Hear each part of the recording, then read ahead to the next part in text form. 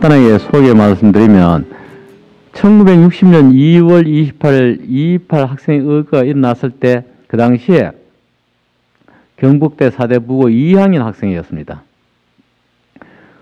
그리고 그 1959년 어, 59학년도 1학기에 사대부고 학생 부위원장직을 맡으셨고 그다음 2학기에는 이제 박재철 선배라는 분이 맡으셨는데 그래서 실질적으로 어, 228 학생 의거를 일으키는데 사대부고의 최고 책임자였다 해도 과언이 아닙니다. 또 하나는 또 그 2월 27일 날 경북고등학교 이대우 학생 부위원장 집에서 228 의거 시위를 하자는 그런 모의, 모의를 하는 그런 모임이 2월 27일 날 이대우 선배 집에서 있었는데 그때 사대부고 대표로 참석하셨고 어, 또 이제 228 민주운동 기념 사업을 갖다가 어, 주도해 오셨기 때문에 아마 제가 생각하기에는 228 민주운동을 대표할 수 있는 아주 몇 분, 몇 분 중에 대표적인 분이 아닌가 하는 그런 생각이 들어서 오늘 우리 최영호 선생님을 모셨습니다. 그래서 먼저, 어, 사실 228 민주운동이 작년에 60주년을 맞았고 어떤 면에서 보면 우리 인간으로서는 감년을 맞이한 그런 해인데, 어, 작년에는 이런 모임을 하기 쉽지 않아서 뭐 이런 모임을 못했고, 원래 그래도 61주년을 맞이했지만, 이 60주년 혹은 60년의 세월을 갖다가 흘러갔다는 거, 60주년을 맞이했다, 61주년을 맞이했다는데 거기에 대해서 어떤 소회가 있으신지부터 말씀하시는 것으로 시작을 하면 어떨까 합니다. 28 일어난 지 며칠 뒤 61주년이 되니까 진갑을 맞이한 셈입니다. 요즘 고령화대가 진갑 뭐 환갑잔치 안 하는데 그는 하나 역사적인 큰 운동이 이 60주년을 만드는 건 적지 않은 의미가 있는 것 같습니다. 그때 아까 소개 말씀 있었습니다. 고등학생이었거든요. 고등학교 2학년 때인데 지금은 전부 다막 고등 머리 기는데 그때는 전부 다 머리를 깎았습니다. 깎아 머리 이 19살, 18살 학생들이 이제 80을 맞았다. 적지 않은 세월이 흘렀고 그 안에 여러 가지 정치 경제적 굴곡이 많았습니다. 경제적으로는 그래도 세계에서 제일 못 사던 나라가 잘 사는 나라 10위권에 들어섰습니다만 민주주의도 한 10위권에 들어가는지 그건 이심스럽습니다.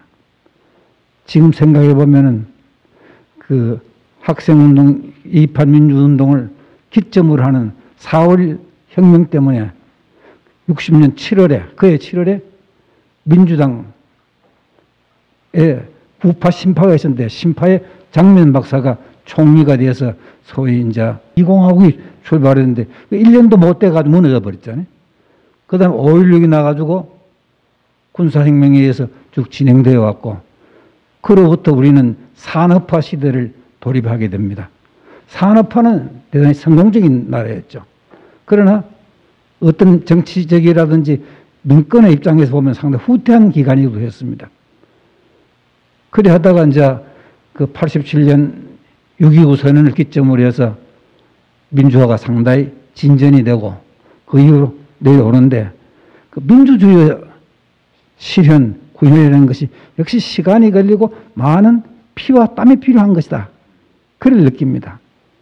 오늘의 민주주의는 한국에서 민주주의 어느 정도 점수를 받을지 모르겠습니다만 역시 민주주의는 시민들의 민주의식과 사회적 여건 여러 가지 따라서 굴곡이 참 심하고 끊임없이 민주주의 실현을 위해서 시민들이 깨어있고 같이 함께해야 이걸 달성할 수 있는 것이다. 민주주의는 고정된 것이 아니고 시기를 두고 그 시민들의 노력과 의지가 뭉쳐져야 실현이 되는 우리 인간으로서는 정치 면에서 상당히 이상적인 모델이 민주주의다. 그런 감회를 갖습니다. 네. 그러면 이제 우리 228 당시로 들어가서 선생님한테 몇 가지 질문을 한번 드리겠습니다. 먼저 제가 알기로 이제 그 2월 28일 날 민주당 부통령 후보 장명 부통령 후보의 수성천변 유세 유세가 2월 28일에 예정되어 있었는데 고등학생들이 참여 참석하지 못하도록 어, 각 고등학교별로 일요일 등교 지 시가 내려간 게 조금씩 날짜가 다릅니다.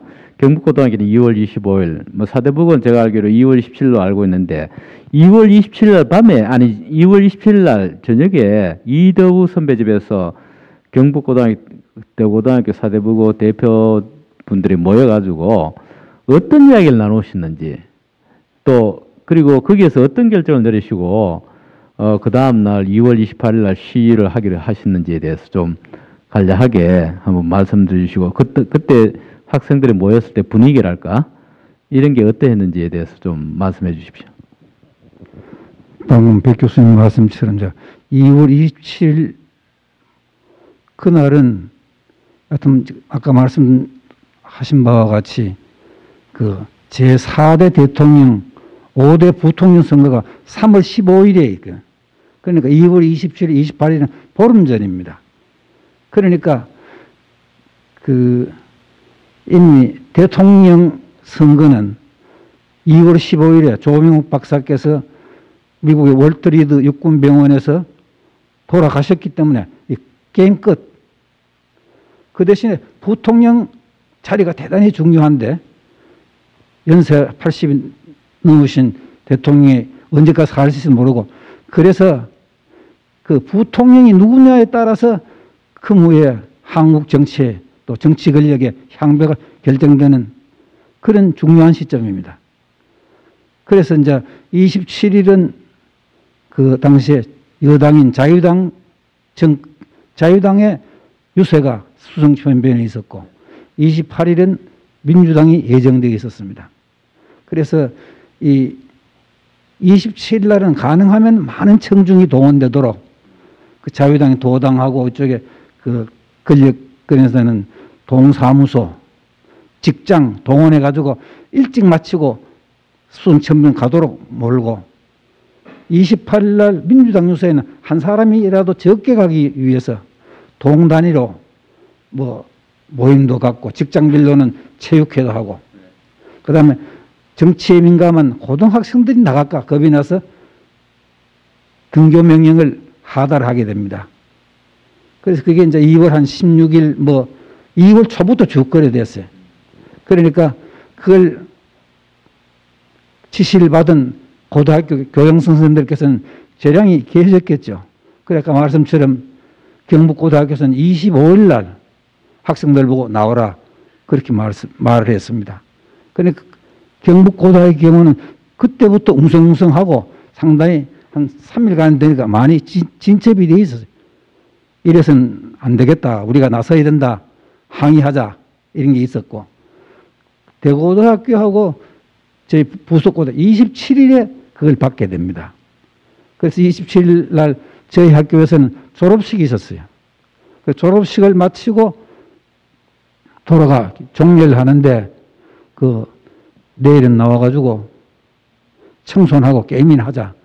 그래 말씀을 하시더라. 음. 그래서 이제 나오는데 종례식 끝나면 다 돌아갈 거 아닙니까? 그래서 뭐 학생들 좀 집합적으로 의논할 기회가 없었어요. 네. 마침 네. 그때 이제 그 대고등학교의 손진홍 학생회장, 대고등학교는 그때 2학년이 최고 학년이 최고 1례거든. 네. 네. 손진홍 학생회장이 찾아러 왔습니다, 저를. 손준홍 학, 대고등 학생회장께서 예. 선생님을 북으로 찾아오셨 예, 찾아왔습니다. 네, 네. 그래서 사정을 서로 얘기하면 어떻게 네. 할 것인가. 네, 예. 그럼 일단 자유당 유세장에 한번 가보자. 음. 그래서 같이 자유당 유세에 가셨습니까? 갔다가, 아, 그좀 듣다가 한 다섯 시쯤 돼가지고 뭐 기왕이면 그 경북고등학교 이대우 학생 부위원장 집에 한번 찾아가자. 네. 그래야 되는 거예요. 그러면 이제 저 처음 듣는 사람 입장에서 보면은 어떻게 사대 부고의 우리 최수영님하고 대고등학교 손진홍 선배님하고 네. 경북고등학교 이대호 선배님 그 전에 미리 이미 알고 지내는 사이였다는 그런 그렇죠. 전적 관리였지 않습니까? 어떻게 알고 지내시는데? 그 이제 그 전해 네. 1959년이니까 2학년입니다. 여름 방학 중에 그 포항의 동지 상고에서 경북 도원에 있는 중고등학교 학생회 학생 간부들 수련회가 있었습니다. 아, 예, 예. 그래서 이제 그때 이제 서로 인사하게 되고 그게 계획이 돼가 끝나고 나와서도 대구 시내 수시로 만났습니다. 아, 어. 예, 예. 그전에는 그러면은 제가 알기로 선생님은 음. 저 사대부고 다니실 때 웅변반 활동을 하셨잖아요. 그 됐죠. 음. 예. 그 다음에 저 손준홍 선배는 안 했나? 안 했었어요. 이도우 선배는 또 했죠. 웅변반 활동을 했고 예. 또 아까 제가 말씀 신구자. 선배도 음. 웅변반 활동하는데 예. 그러면은 그, 그 사계 수련회 이전에 음. 웅변반 활동을 통해서는 이미 아는 사이였습니까? 어, 조금 알았죠. 아, 예, 네, 네, 네. 그러니까 그 좀 아는 게 하계 연수에서 만나니까 훨씬 더 가깝게 지낼 수 있는 기회가 되고, 됐네, 그죠? 예. 예. 그러니까 그 228 당시뿐만 아니라 그 전에도 주말이 되면 같이 모여가지고 이논다 그래 했던 거죠. 그런 어떤 연결 고리가 있었군요. 예. 네. 그래서 이제 2월 27일 날 이대우 선생 집에 가서 가니까 어, 이미 이제 경북고등학교 쪽에서는 한 6, 7명이 와가 의논들을 하고 있더라고. 아, 예, 이미 뭐 준비가 돼 있어. 아, 예, 예.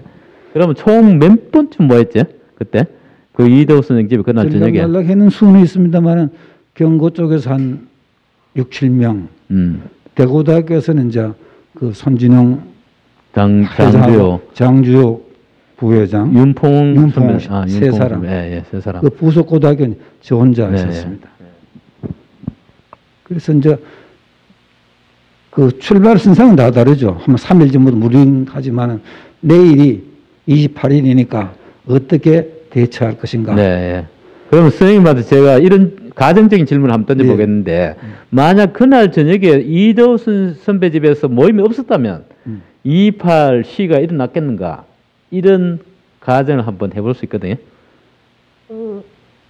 탄력을 안 받아겠습니다. 경고의 경우에는 아마도 단독이라도 했을 겁니다. 아, 네네네네. 이미 전체 분위기 연합 시위는 못했어도. 예, 예. 네네네. 그 3개국이 모여가지고 일단은 저 같이 하자. 그러니까 228 민주운동이 과연 몇몇 주도 주도하는 학생들이 이끄는 거냐? 안 그러면 일반 학생들이 정말로 추진력을 추동력을 가지고 있었는 건가? 이렇게 이야기하는데 보통 홍종원 선배님 말씀은 일반 학생들이 추동력을 갖고 있었다 이렇게 주장하는 분도 있고 음. 장주호 선배님은 그게 아니다. 음. 이 방금 말씀하신 대로 네. 그 주역들이 없었으면은 그 어려웠을 것이다 이렇게 이야기하는데 선생님 입장에서는 어느 쪽이 더 합당하다고 생각하십니까? 그 양자택일이 문제가 아닙니다. 아 양자택일이 예. 문제가 아니다. 그 당시에 네. 그 대구의 고등학생 사회에 있어서의 그 반정부적 의식, 네. 그건 그 2월 15일에 조영 박사 돌아가시고 그걸 애도하는 대구의 노가와 사건이 있었지 않습니까? 네네네. 네. 노가바 사건이 다른 게 아니고 노래 바꿔 부르기 노래 가사 바꾸고 사건입니다. 그러니까 유정천리 유정천리라서 무정만리로 바꿔서 부른 그 조병옥 조병옥 박사께서 서거하신 걸 슬퍼하는 그런 내용의 에, 가사로 바꾼 게 바로 그게 부고 2학년 학생들이 그 노래를 바꿔 1학년 학생들이 노래를 바꿔 노래 가사를 바꿔 부르는데 그게 상당히 좀 센세이션을 일으켰고 우리 최영호 선배님이 어떻게 했냐면 그 가사를 갖다가 직접 채집해가 그걸 갖다 정리했습니다. 사실은. 그런데 그, 그 노래 사건이 터지고 나서 그 두 분의 학생이 경찰에 막 조사를 받고 세 사람. 세 사람. 네.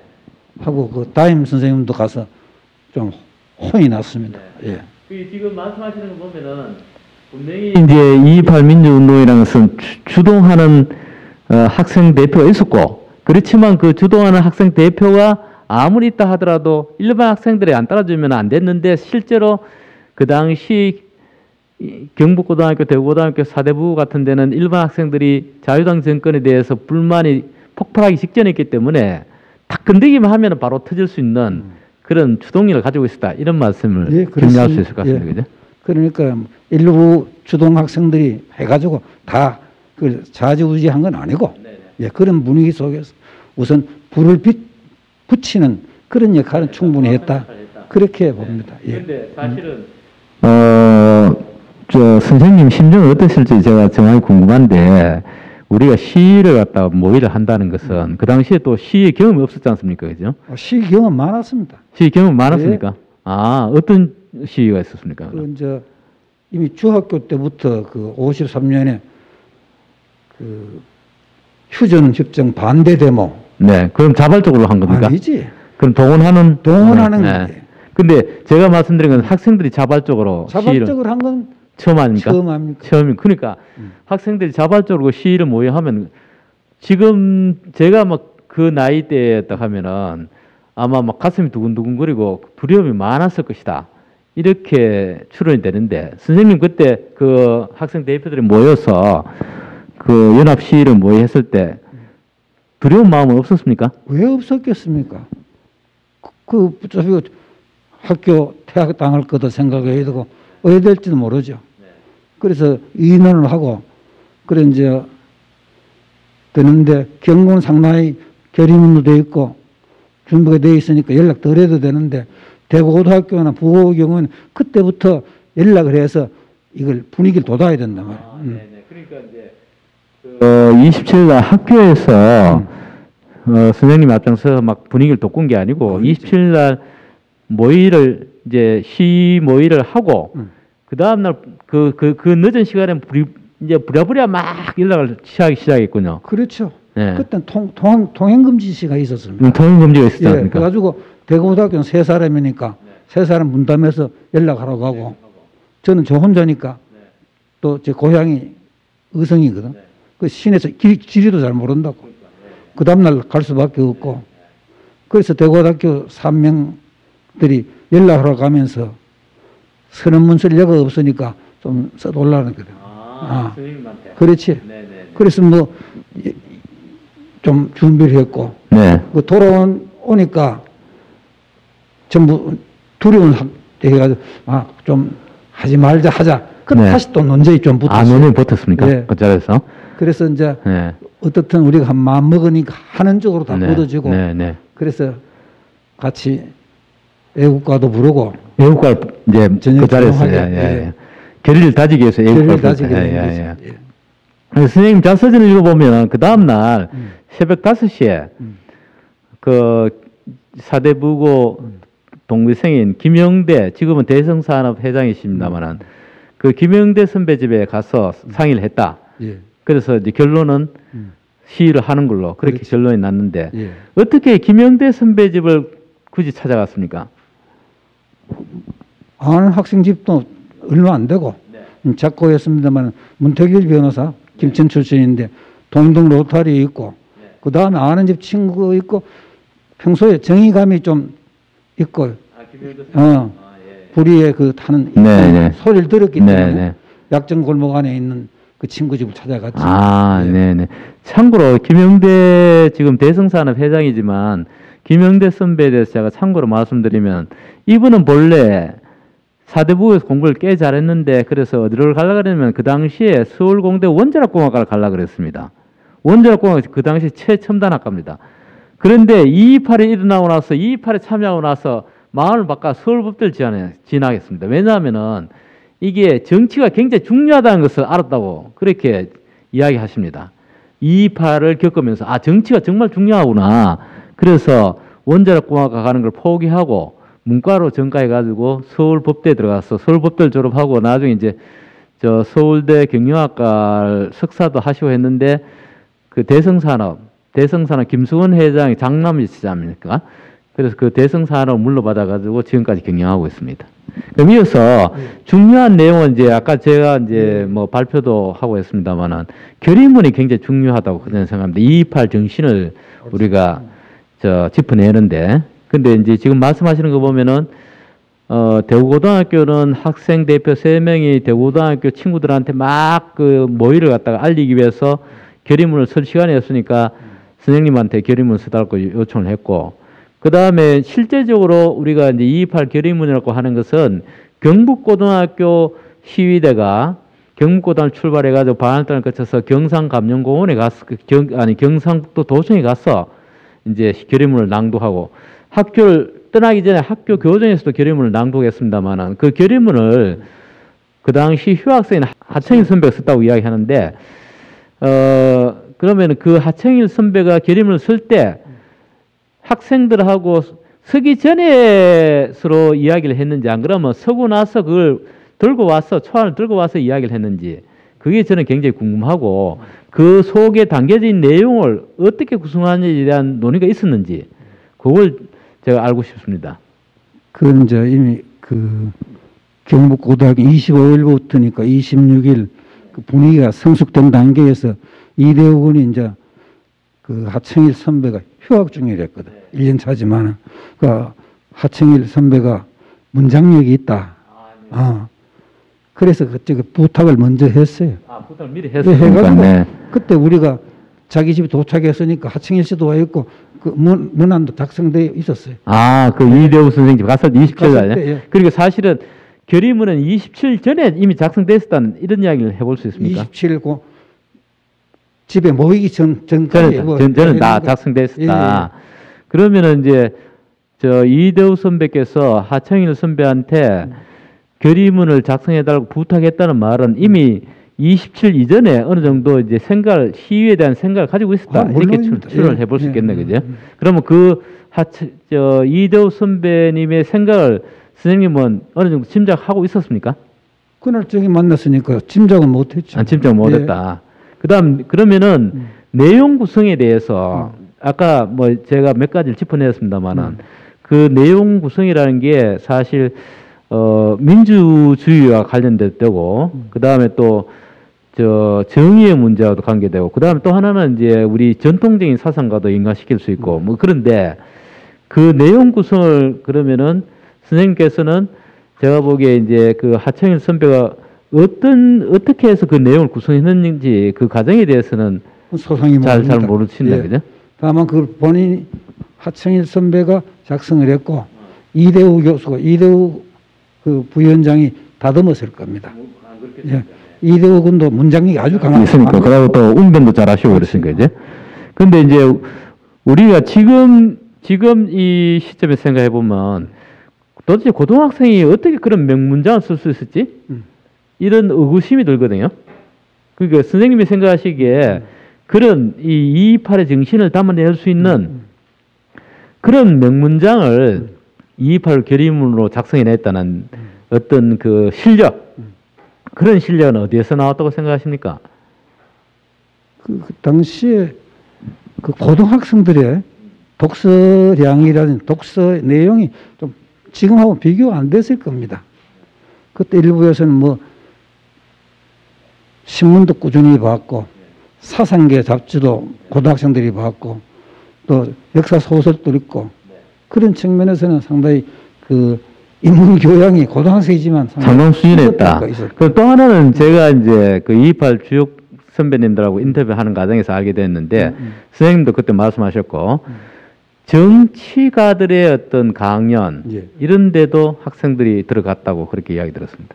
많이 갔습니다. 네. 아, 그 민주당 쪽에서는 서동진 의원, 네. 전라도 조- 조재천 씨, 조재천 씨. 예. 그 꾸준히 와서 시국 강연회를 지금 한일극장 자리, 네. 그- 키- 네. 거기서 국회의원. 하기도 하고 네. 협성고등학교 자리에도 하고 네. 우리는 이제 그 토요일 되면 오후에 그 선거 유세장 선거에 강연장 찾아가 듣기도 하고 정치인들 강연장에 참 하고 종이 가져가서 사인도 받아오고 아, 어, 네, 네, 네, 네. 기억이 하나의 그. 팬클럽 비슷한 게 있다. 이런 음. 이야기도 해볼 수 있겠네. 그 그리고 이제 본질적인 보다 본질적인 질문을 한다면은 그 선생님이 생각하시기에 228 결의문에 담긴 정신 가운데 가장 핵심적인 정신은 이런 것이다. 음. 어떤 것을 말씀하실 수 있을까요?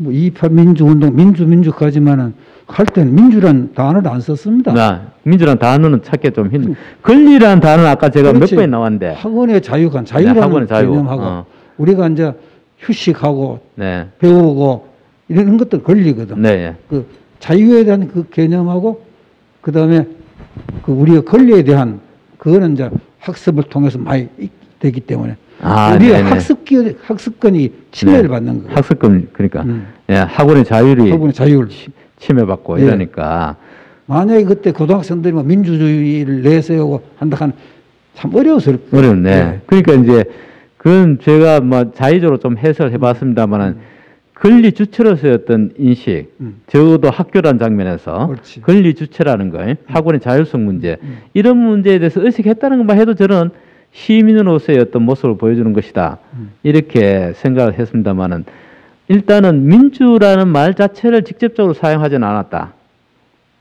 그렇지만은 이제 우리가 그, 그 사용하는 용어의 바탕에는 음. 말하는 민주주의의 어떤 근본하고 연결돼 있다. 이렇게 표현해 볼 수 있겠군요. 상권 분립 그것도 있고 네, 뭐 예, 예. 자유권도 여러 가지 네. 있지 않습니까? 네. 그런 그 대한민국의 주권은 네. 국민으로서 국민의 그 권리, 네. 의무 네. 이런 데 대한 그 기본적인 건 다 다 갖추고 예. 있었다. 예. 알고 있었죠. 네. 자, 그 다음에 이제, 에, 그, 사대부고로 넘어가서, 선생님, 이제 제가 듣기로 사대부고에서는, 어, 2학년 3반인가? 교실에 모여서 농성을 하고, 근데 선생님들께서 이제 만류를 하시니, 만류를 하시니까 같이 있었는데, 어떻게 저녁 7시경에 나올 수 있었지 않습니까? 그죠? 그러면 어떻게 그 갇혀 있다가 저녁 7시가 돼서 나올 수가 있었는지. 음. 그 갇혀 있는 게 아까 김영대 회장 얘기 있었습니다만 아침 7시 만나 가지고 그 집에서 이제 아침밥을 얻어 먹고 지금부터 연락해 분위기를 조성해야 되니까 우리는 1시까지 나오라고 했는데 일찍 나가자. 11시에 학교에 나갔어요. 예. 나가서 대의원들을 연락을 해가지고 네. 과학실에 뭐였습니까? 예, 모여가지고 어. 인원을 했습니다. 네네. 그래서 이제 뭐 돌아가신 선생님들도 계십니다만은 네. 우리가 이래서는 안 되니까 자유당 도당이나 음. 또 지사를 찾아가서 왜 부당한 명령을 했냐 따지자. 음. 그렇게 이제 인을 넘어오니까 학생과장 선생님하고 교육과장 선생님 그거는 한 말씀 너희들 말은 맞단 말이야. 근데 태평양 같이 넓은 이한 해월이 치는데 젓가락 하나 가지고 넣- 넣는다고 물이 돌아가나? 아, 예, 예. 그럼 비유를. 커서 네. 너희들이 사회의 준인이 되거든 네. 올바르게 하고 네. 넘어가도록 하자. 네. 뭐 이렇게 설득을 많이 했어요. 네. 근데 우리가 이제 한창 모여가지고 하는 데는 이제 한 시쯤 가깝고 네. 그래서 학생 도착하니까 강당에 다 모였습니다. 아, 강당에. 예, 강당에 모이고 학생회 간부들은 그대로 진행이 음. 되고 네. 그래 하니까 이제 나갈 행편이 안 되고 하니까 그러면은 지금 경북 시대자리인가? 거기 남대구 경찰서가 있었어요. 맞아요. 예. 음, 남들- 학교 예. 앞에는 경찰서가 있고 선생님도 나가도록 눈을 막고 있으니까 네. 안 된단 말이에요. 네. 그러면 우리가 단식 농성을 하자. 네. 음. 네. 그래 해서 이제 2학년 3반 교실로 옮기게 됩니다. 아, 아. 단식 농성을 하기 위해서 2학년 3반. 그렇지. 아, 예. 본래부터 2학년 3반 교실은 모여 있었던 게 아니고 아이고, 강당에 네, 강당에 모였다가. 예. 음. 그 다음에 이제 그 산참 계림문도 읽고 작성, 막 이제 읽고. 작성해가 네. 오 5개 항인가 뭐 그거 네, 있지 않습니까? 하고 돈을 많이 했는데 그 한 서너 시간 정신도 굶고 전부 다 그런 게지. 한 7시쯤 돼가 불빛이 적 들어오는데 학교 선생님들이 학부 형들한테 전화 연락을 했던가 봐요. 음. 네. 그 네. 학생들 데리러 자기 자녀 데리러 학부 형들 나타나고 네, 사친 회장님도 오시고 네. 그래서 네.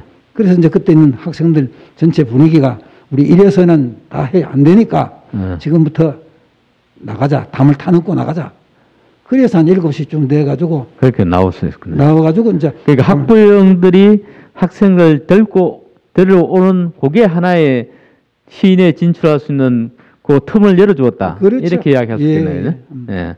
아 그렇구나.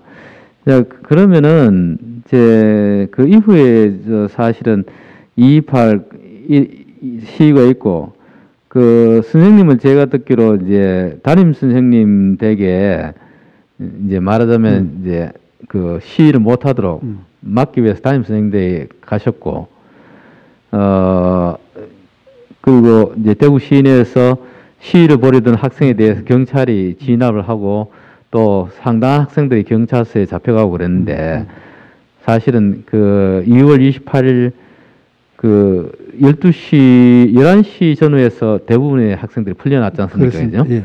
제가 궁금한 게 그럼 2월 29일 날 학교 월요일이니까 예. 학교에 가셨을 거 아닙니까? 그, 그, 가- 그 해는 같이요. 윤년이니까. 그러면 2월 29일 날 학교에 가셨을 때 예. 학교 분위기가 어땠습니까? 그래 이제 시에 참가한 학생들이 이제 네. 무용론도 나오고 아, 무용론. 어. 어. 어떠, 어떻더라. 어. 뭐 예를 들면 그때 도 공보계장 네. 경상북도 공보계장 아들이 저 우리 학년 같았어요. 네, 네. 얼마 전에 돌아갔습니다만은 음, 음. 그러니까 잡혀다 가서 경 가니까 너 아버지가 막 공무원인데 네가 그러면 되는다고 뭐 이렇게 얘기도 하고 뭐 네, 예. 예. 그다음에 뭐 어디 가서 어디로 경찰 나타나서 도망을 어디로 해가지고 집으로 갔다든지 네, 네. 그 그런 이게 얘기들을 좀 뒤. 뒤, 무용, 뒤, 뒷이야기를 많이 하셨거든요. 예. 네. 네. 그런데 이제 3월 1일 날, 예. 3월 1일 날, 저, 우상봉 남동 경찰서장이 그 8개 고등학교 학생 대표를 불러가지고 모임을 안 가졌습니까? 그죠? 그렇습니다. 그 스- 선생님도 가셨, 가셨습니까? 예, 갔습니다. 네. 그러면 사대 부에서 몇 분이 가셨습니까? 네 사람 갔습니다. 그럼 전체적으로 몇 분이 모였죠? 33사람. 33사람. 그러니까 아, 33인 비슷하네요. 3.1 운동에 33인 비슷한데. 예. 그럼 거기에서 우상봉 남대구 경찰서장이 어떤 이야기를 했습니까? 그래 너희들 순수하게 그 시위를 했으나 네. 북 그 당시 계략 계략했거든. 북계가 너희들 할이 시위를 악용하고 있다. 아, 네네네. 음. 네. 북한 계례가. 그렇지. 네. 네. 그러니까 너가 이거는 순수하게 반정부적인 것도 아니고 네. 이런 데 대해서 뭐 하는 음. 그 단순히 그 학원 수업이 안 되는 데 대한 음. 그것으로 어? 이게 뭐 정부 반, 반정부 시기가 아니라 하는 거야. 반정부 시가 아니라, 음. 그 다음 공산주의 사주를 받은 게 아니라는 그런 식의 무슨 음, 그걸 좀 성명을 좀 내라고 그랬습니까? 그렇지. 반정부 시기가 아니라는 게 아, 핵심. 네, 네. 핵심이 그걸 뭐. 해야 네. 그쪽 이용 안 해, 이용 안 나간다. 아, 북한한테 이용 안 나간다. 그렇지. 예, 예, 예. 그것도 그때 경찰하고 쪽에는 여러 가지 있었습니다. 네. 이, 이발 민주운동 뒤에는 누가 그걸 교사했다든지 음, 음. 북한 지시를 받다든지 네, 네, 네. 음모론도 나오고 네, 엄마는 예. 나와. 예. 안- 그래서 학생 상당히 경계했죠. 네, 네, 네. 그래 그때 얘기하다시피 학생들이 그 순순하게 안 따르고 네. 그 서장님 말씀 일리가 있습니다만은 잘못 이 시기에 발표를 하게 되면은 역이용 당합니다. 음. 아. 네. 발표를 안 하는 게 좋겠습니다. 좋겠다. 예. 라고 아까 말한 김명대 군이 그걸 제안을 했어요. 아, 그렇구나. 음. 그러니까 남대구 경찰서의 의도가 무산돼 버렸군요. 그렇죠. 네. 예. 그게 어떤 점에서 보면 무산된 게 오히려 228 민주운동의 참뜻을 음. 살리는데 또 도움이 안 됐겠나. 만약에 그 당시에 성명서를 발표했다 그러면은 이게 학생들의 어떤 불의에 대한 저항 이런 것들이 좀 퇴색되지 않았겠나 하는 그런 느낌이 들겁니다만. 그렇습니다. 네. 우리의 순수성이 훼손 훼손될 수 있는 그런 거. 이유가 네. 있기 때문에 네. 반대를 한 거죠. 네, 네, 네. 아주 그게 중요한 아마 228과 관련해서는 중요한 하나의 이- 사건이 아니었나 예, 이렇게 저는 그렇습니다. 개인적으로 생각합니다. 예. 그리고 시- 이제 그 당시에는 되게 이제 그 3월 달까지가 학년이고 4월 달부터 신학년이 시작되는데 그 어, 선생님은 이제 1960년 4월 이후로 이제 부고 3학년이 됐고 예. 그다음에 요즘 같으면 3학년 같으면은 이제 대학 입학 준비에 굉장히 바쁜 시절이었는데 예. 어, 대학 입학 준비가 이제 제대로 될 것인가 음. 말하자면 뭐 시위에 참여했다 그다음 시위에 참여했기 때문에 주, 시위를 주, 주동했기 때문에 경찰의 어떤 감시랄까 이런 것은 받지 않았습니까? 뭐 경찰 감시는 상당한 기간 동안 받았습니까? 예, 네. 네. 음. 그 대학 진학 준비는 어떻게 했습니까? 대학 진학 준비보다는 이제 그 4.19 때문에 네. 학도호국단을 해체했습니다. 아, 학동호국단 해체. 예, 예. 해체하면서 네. 각 학교별로 자율적인 학생 조직을 만들어. 네, 네, 내라. 네, 네. 그리고 부속고등의 경우는 군성회라는 조직을 만들었습니다. 그러니까 학생회라는 명칭을 안 달고 군성회라는 명칭을 달았다 군성회, 그죠? 예. 예. 그러니까 하- 학도 호국단 대신에 나타난 학생의 조직이 군성회다. 군성회고. 예, 예. 그거 이제 제가 초대 회장을 아, 초대 회장 예. 하셨군요. 네, 네. 3학년 때. 3학년 때 네, 네. 그걸 하게 되고 그 여름 방학 때 아까 말씀하신 새날 동시에 네. 그게 중심이 돼 가지고 그 월성 양북 네. 그다음에 이제 문경 가은 이런 쪽으로 학생회 봉사활동을 가지고. 예 네, 나가기도 네. 하고 그리고 고3이 봉사활동을 가면 언제 공부합니까? 요즘 자- 사고로 하면 좀 이상하다 이렇게 생각할 수 있는데. 상당히 그런 거죠. 네. 음. 그래서 진학은 고려대학교 정치학과 진학하셨잖아요. 예, 예. 고려대학교 정치학과 진학한 동기는 228하고 연관되어 있습니까? 고등학교 시절까지의 내 성향하고 좀 관련이 있겠죠. 아, 맞아, 맞아 예, 떨어졌다. 예, 예. 아. 그럼 결국은 또 정치학과에 진학하셨지만 나중에 석사 과정에서 어, 경제학을 하시고 음. 그 다음에 경제학과 교수로 재직을 하셨는데 이 정치학에서 경제학으로 학문 영역 전공 영역을 바꾸게 된 어떤 계기는 있었습니까? 그 제가 ROTC 3기입니다. 네네네 네. 그래 있으면서 그때 하더라도 이제 그 군에 있으면서도 주말을 이용해서 대학원을 갈 수 있는 아 대학원을 예. 하시네. 예, 그래서 이제 예. 예. 제가 그 66년도 음. 경대 대학원 정치학과에 아 대학원 정치. 예. 아 네네. 정치학 대학 네. 했습니다. 네. 그래서 그 제대하자마자 그 우리 저 예선도 알지만 김병창 교수님 방에 들어가서 네. 논문을 쓰고 해서 정치학 바- 학- 석사를 받았습니다. 석사를 받았죠. 네네. 그래서 이제 그때는 이제 뭐 석사 나오면 강의 주더라고. 네네. 그 시간 강사 한 2년 했습니다. 네, 시간 강사. 정치학으로 시간 강사 그렇죠. 하시다요? 그래 해보니 그거 가지고 밥 먹고 뭘 사잖아요. 네. 그래서 이제 그 그때 경제학과에 계시는 부강식 교수님이라 계세요. 예, 예. 그런한테 어디 일자리 한번 마련해 달라고 부탁을 했어요. 아니, 부왕쌤 그 전에 아셨어요? 그 그때 법정대학 해가지고 같은 그 아, 예, 같은 건물 내에 있어서, 예. 그래서. 그래 무조건 찾아가서 내가 부탁드린 아, 예. 예, 예, 예. 그래 그러니 이제 그 소개해 준 게 대구경제신문사 아, 대구경제신문. 논설실에 아, 논설실. 음. 네, 네, 네. 그래서 69년 12월 10일 날그 부임을 합니다. 아, 그래서 대구경제신문 논설위원으로 부임하셨다. 예. 그래서 이제 근무를 하다 보니까 경제에 관심을 갖게 되잖아요. 네, 네. 음.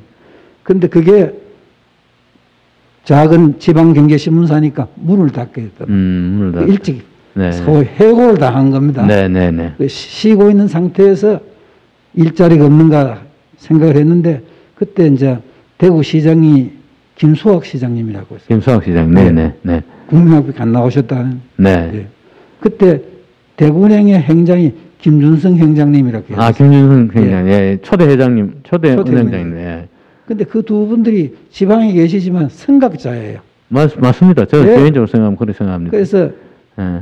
그때도 경기가 어려웠습니다. 네. 이럴 때 서울에서 이제 경제 관계 장관들이 어렵다가 내려오는 거야. 네. 그러면 그분들의 건의를 드리기 위해서 음.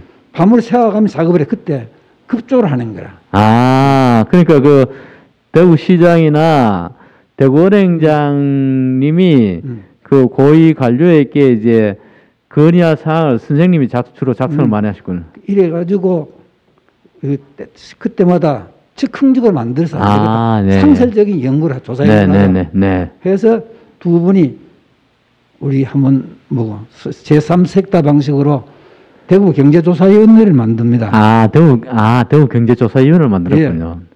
그래서 제가 이제 부광식 교수님 고문이 되시고 제가 음. 전문위원이 돼가 음. 직원의 사명의 경제조사위원을 출발을 합니다. 아. 그렇게 본격적으로 경제 문제 관, 네. 관심을 갖게 되고 그 경제조사위원회는 그 뒤에 대구은행으로 흡수돼 가지고 대구은행 연구소가 조사부가 돼- 되고 네. 지금 대은경제연구소가 아, 거기입니다. 그래 됐구나. 그래서 네. 이제 그 분야에 관심을 갖고 일하게 되니까 경제 경제 지식이 아주 부족하단 말이에요. 네. 그래서 이제 경제학 대학원 자원에 들어가셨구나. 경제학과로 네. 네, 아, 그렇구나. 어쨌든 이제 선생님 인생에 있어서 이입하는 굉장히 중요한 개인 개인에 서 개인 인생 아주 중요한 사건이었고 아마 인생의 어떤 방향을 정하는 데나 혹은 인생을 살아가시는데 여러 가지 큰 영향을 미치지 않았겠나 하는 그런 생각이 듭니다만은 그 점에 대해서는 어떻게 한번 말씀하실 수 있을까요? 상당히 영향을 많이 미치죠. 네네. 어. 그 대학에 들어가니까 그때 고대 정형외과 안에는 네. 그4.19 당시에 참여했던 각 고등학교 대표들이 많이 모였어요. 네, 네, 네, 네. 아, 그것도. 있기도 네, 하고. 네, 네. 그 다음에 그때 이제 요즘 스카이라고 얘기합니다만 네, 네. 서울대, 고대, 연대, 이하여대 네. 정외과 대표들이 뭐였습니까? 그 학생 학생들이. 예, 그것도 만들고 네. 상당히 좀 그런 분야에 관심이 많았죠. 음, 음. 뭐, 그, 뭐 그런 그, 그, 그 때문에 정치 분야의 친구들이나 교우도 지금도 유지를 하고 있어요. 음. 네, 예, 예. 다만 살아가는 삶의 자세에 있어서 네. 불의에 한 거였고 정의를 위해서 노력해서 했다는 초심을 잃지 않기 위해서 네. 저 생활 면에서 항시 좀 자세를 다르게 한다. 다르게 하고 네, 네. 돌아보는 네. 그런 데 대해서 이 발언들이 큰 의미를 갖고 있습니다. 그러니까 228, 228이라는 게 선생님이 인- 인생을 살아가신데 아주 예. 중요한 좌표다, 그죠? 예, 생활의 좌표가 아, 좌표였다고. 예. 그렇게 있어요. 그, 이제 한 세 가지 정도 질문을 좀 더 드리고 싶은데, 선생님이 생각하시기에 228 민주운동은 우리나라 민주주의 역사에서 가지는 의미, 이거는 뭐 여러 가지로 저 우리가 많이 이야기합니다만은, 선생님이 생각하시기에 228 민주운동은 우리나라 민주 역사, 민주주의 역사에서 이런 의미를 가지고 있는 것이다. 이렇게 한번. 그 228이 출발지가 대구 아닙니까? 네네네. 대기업 학생 운동이나 시민 운동이 서울에서 지방으로 네. 이래 하는 사실은 뭐 60년대 음. 그 우리 하, 하 한일 협정 반대 운동이라든지 이 이 당 이때부터는 거의 서울서 다 진행돼 가지고 대구 제 지방으로 내려가는 그런 형태였지만 이입하는 어떤 점에서 아주 특이하게 우리 대구에서 출발해서 전국으로 번진 그런- 지방 네. 대구 출발해서 대전, 부산, 네. 광주, 광- 청주 광주, 뭐 마산 네, 예, 이래 마산 가지고 서울로 네. 올 때는 지방 주도형 민주화. 운동이다. 예. 그다음에 또 하나 큰 특징이 고등학생들 아닙니까? 네, 네. 대부분 대학생들 대학생 그 이유는 거의 대학생이 주도했죠. 일반 사회도 뭐 그때 뭐 네. 시민단체가 뭐 네. 활발한 것도 활발한 아니고 것도 아니고 그러니까. 일반 시민도 입을 다물고 대학생들마저도 음. 말문을 닫았을 때 고등학생들이 고등학생들이 주도했다. 해가지고 그게 대학 사회로 퍼져나갔다. 이 사회로 네. 옮겨가는 네. 그런 촉매적이 됐다는 측면에서 특이한 성격을 갖고 아. 특이한 성격을 가지고 있다. 아, 그렇게 해석해 볼 수도 있군요. 그 다음에 이제 또 하나 이게 오늘 행사도 대구 시민주간의 한 행사로 이루어지고 있습니다만은 과연 선생님이 생각하시기에 228 민주운동에 담긴 정신, 이런 정신이 대구 시민 정신에 어떤 영향을 미치거나 혹은 어떤 가치를 지니고 있다. 이렇게 말씀하실 수 있을까요? 역시 이제 그뭐 선비 정신도 여러 가지 있는데 네네네. 불의를 보면은 못 참는 네.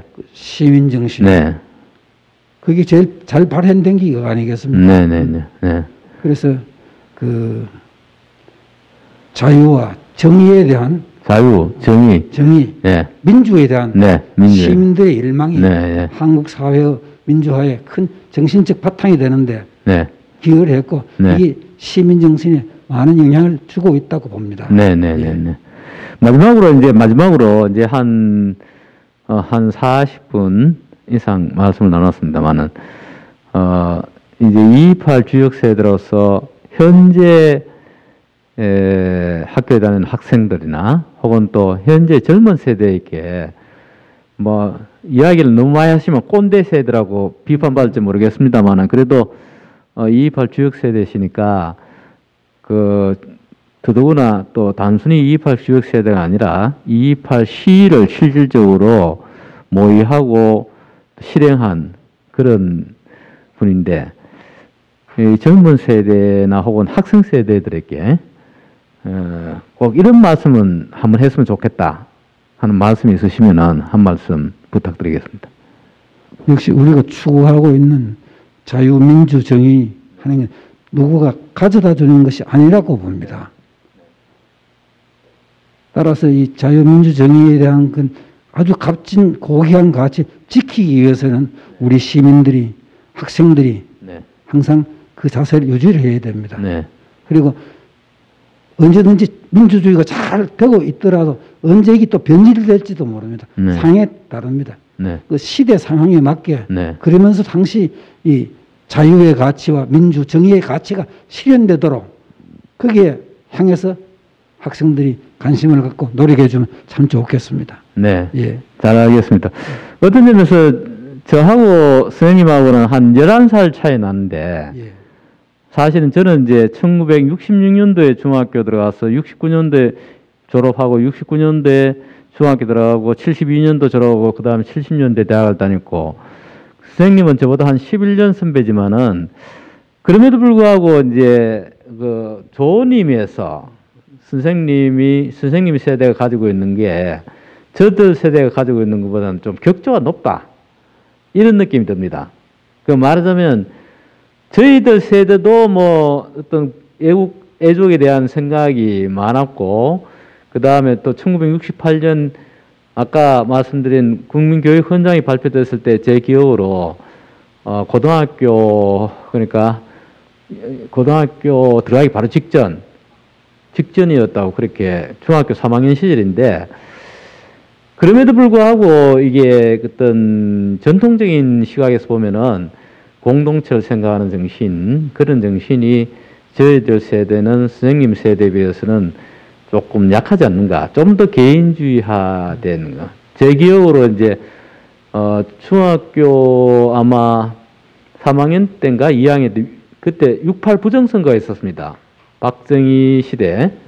그래서 어 중학생도 그왜 그러냐면 60년에 그228 민주운동이 고등학생 중심으로 일어났기 때문에 이 60년대에 쭉 간통해서 하는 거는 중학생이나 고등학생이나 다 시위에 나설 수 있다는 그런 생각을 가지게 된 것 같아요. 제 느낌이. 그럼에도 불구하고 이 대학교 진학 무렵에는 상당히 개인주의화가 삭트이지 시작했는 게 아닌가.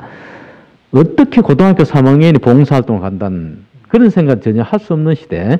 어쨌든 이제 자기가 원하는 대학에 들어가야 된다는 그런 생각을 많이 했는데 그런 점에서 선생님 세대가 가지는 좀 독특함이 있다. 저는 그런 점에서 존경하는 마음을 금할 수 없습니다. 역시 그 시대가 변하는 거죠. 선생님 세대 하지만 지금 세대는 디지털 네트워크 시대입니다. 코로나 때문에 자주 만나지도 못해요. 이래면 더 개인주의화 돼 갈 겁니다. 아, 그 디지털 시대에 걸맞는 그 사고방식, 네. 그 공동체를 생각하는 네. 거 네. 그런 건 시대에 맞게 우리가 좀 후배들한테 네. 지침 줄 수 있도록 공부를 우리가 많이 해야 됩니다. 맞습니다. 예. 예. 이제 뭐 아까 계속 마지막 마지막에 제가 연발해서 좀 이 말벗을 좀 고쳐야 되겠다는 생각을 합니다만 정말 마지막으로 그 코로나를 극복한 대구 시민들에게 꼭 용기를 북돋을 수 있는 말씀을 한 말씀 부탁드리겠습니다. 마지막으로.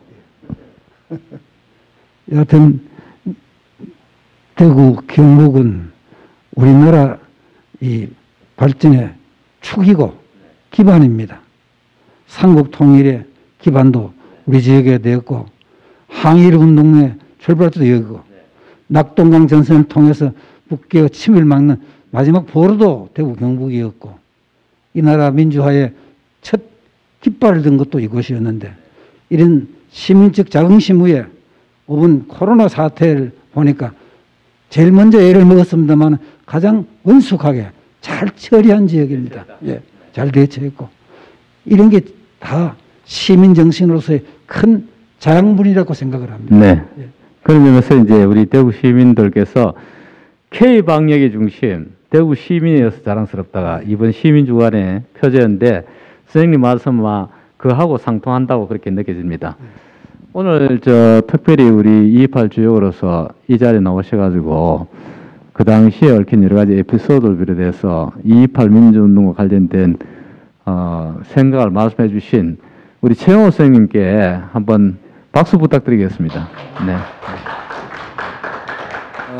어, 좀 아쉽지만 또 내년을 기약하면서 오늘 이 국제보상운동에서 228 민주운동까지 대구 정신의 발현에 대한 어, 이야기 모임을 여기에서 마치도록 하겠습니다. 오늘 끝까지 자리를 지켜주신 여러분께 감사드립니다.